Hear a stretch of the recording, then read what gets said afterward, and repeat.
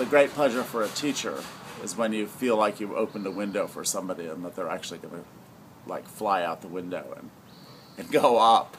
I'm Bill Hunt, W.M. Hunt, Yeah. and I'm an art consultant, specifically with photography.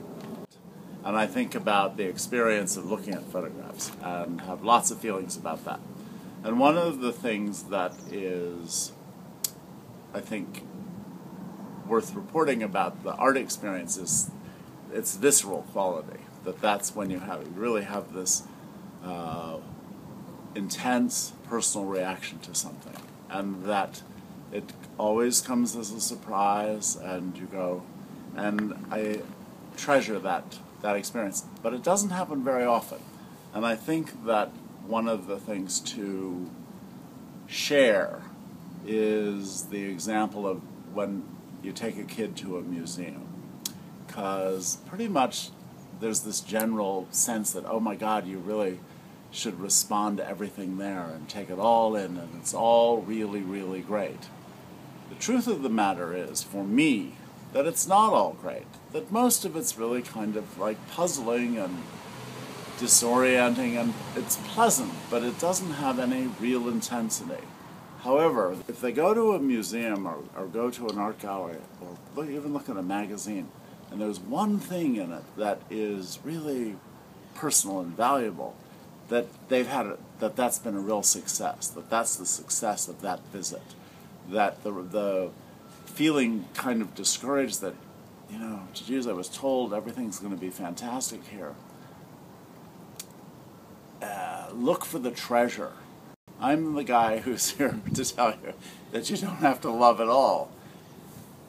Make yourself open, and if a lot of it's disappointing, I think that's really that's really how it works. I, I wasn't raised in any kind of artistic situation, and I found the experience of looking at photographs to be so peculiar and intense and uh, exciting that that's how I taught myself. I would look at one and then I would try to find another one that offered me that kind of intensity. And then um, that's how I learned. In school, it's I think it's I'm always very intent on nurturing what the student has to say. Uh, I know you see things in your way, different from me, and I want to know what it is. So I try to get them to be articulate about it and not be embarrassed about it, and it's very tricky.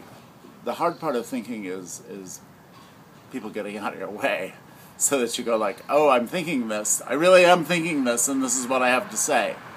The great pleasure for a teacher is when you feel like you've opened a window for somebody and that they're actually going to like fly out the window and and go up as opposed to so uh, that's what I got to say about art.